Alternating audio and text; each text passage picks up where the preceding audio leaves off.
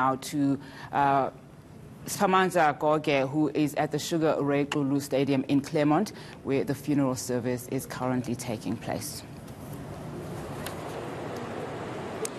Well, we've just moved from the Sugar Ray Xulu Stadium. We are now at uh, Chesterville Cemetery, where there is a Heroes Acre.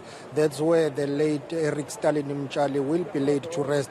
Behind me is his final resting place. Is his final resting place. Allow me to step out of the shot and ask my colleague Nkanyiso Mdlalose to give you a sense of what is happening in the background. We are expecting the procession to arrive any minute from now. That's where all the dignitaries and the family members will be seated, and Ubabu Mtshali will be laid to rest.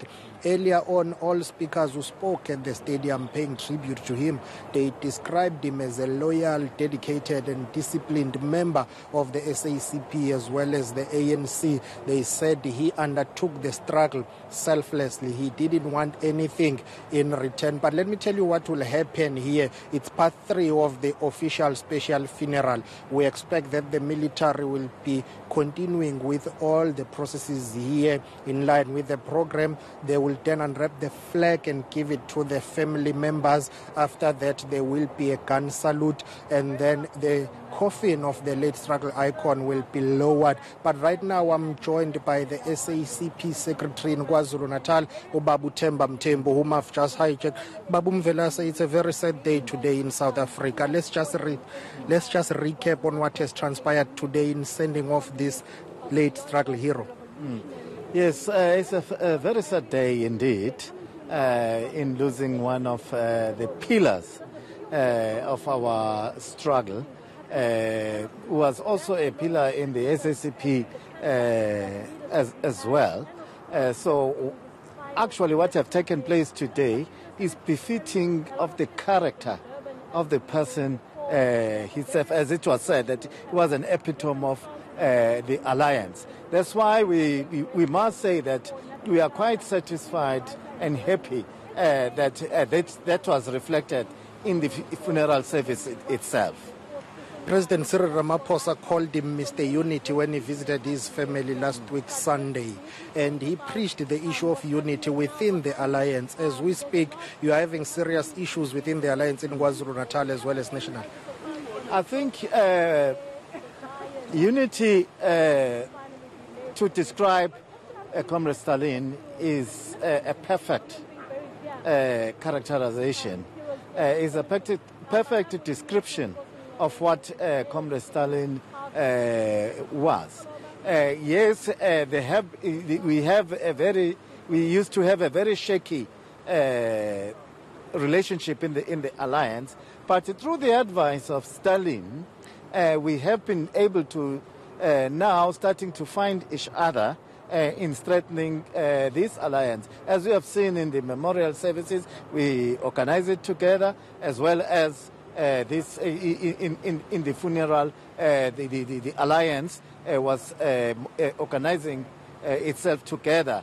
there was no side activity of each component of the alliance. So that's what uh, make us to have a, a hope that we'll uh, try by all means uh, to heed to what Comrade Stalin was teaches us, taught us. One of the things he was passionate about was the issue of political education. Mm. As the alliance, you seem to be struggling with that. You seem to have taken your foot off the pedal when it comes to educating your members politically. How are you going to take that moving forward?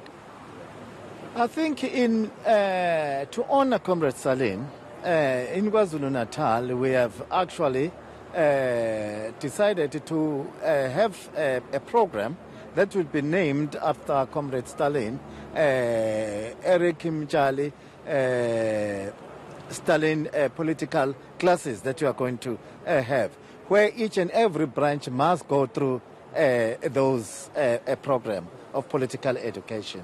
Okay, Mvelase, thank you very much for your time. Well, if you can allow me, I think we still have time. I see a member of the Central Committee of the SACP, Yunus Karimbaba. If you can just join us, please, let me just get a quick comment from him. How, how are you going to keep the legacy of Ubabu Eric Ustalin Mtshali alive?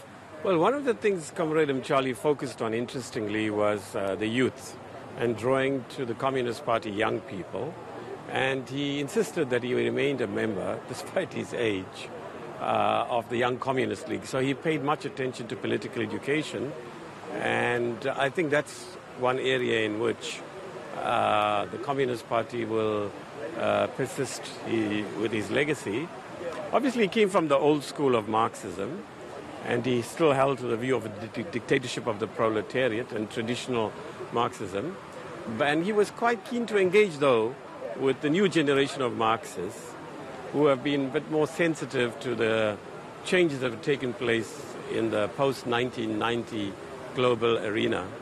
So he was very good for engaging with uh, some of the dominant views within the Communist Party about how to manage our program for socialism in the current era. One of those would be the issue of socio-economic challenges facing the working class today. Surely that would have pained him to see that those conditions have not changed. Well, I wouldn't say the conditions haven't changed. They have changed substantially, but not substantially enough. And given the slowdown in economic growth, the job losses that have occurred over the last few years, and the other economic challenges, obviously the working class and the poor and the lower income earners in particular have had to bear disproportionately the consequences of our failure to grow the economy. However, things are beginning to turn around. There's the new uh, president's um, stimulus package. Uh, there are attempts also uh, to do a whole lot of things to get the economy going, but ultimately it's a relationship between uh, government, parliament, business, and the union movement and civil society to get the economy going. It's not just the responsibility of the government or parliament alone, nor indeed is it the responsibility of the tripartite alliance. We all have to work together while maintaining our respective positions to get, in fact, the economy growing. And the private sector needs to realize that it's in its own interest to work with government. Now, of course, Comrade um, Charlie, uh, with his background, he served in all three structures of the alliance, was particularly concerned about the effect of the slowdown in economic growth on the working class. That was his major preoccupation. So again, uh, the Communist Party, we need to do more to focus on the needs and interests of the working class and its allies. He was a remarkable veteran in his own way. Uh, despite his failing health, he continued to attend uh, Central Committee meetings until very recently. And he continued to play a role in political education. And of course, he continued to read the publications of the Communist Party. And he's now one of the few uh, uh, veterans of that era who was around until this week. And uh, we regret the loss of this era. We regret also that their histories have not been written. There are others around of his age and also of failing health whose histories are very important, not just to the Communist Party and the alliance, but to the country as a whole. Okay, thank you very much for time. That's Yunus Carrim, who's a member of the Central Committee of the SACP, saying Ubabu Mtshali is one of the unsung heroes in the South African struggle.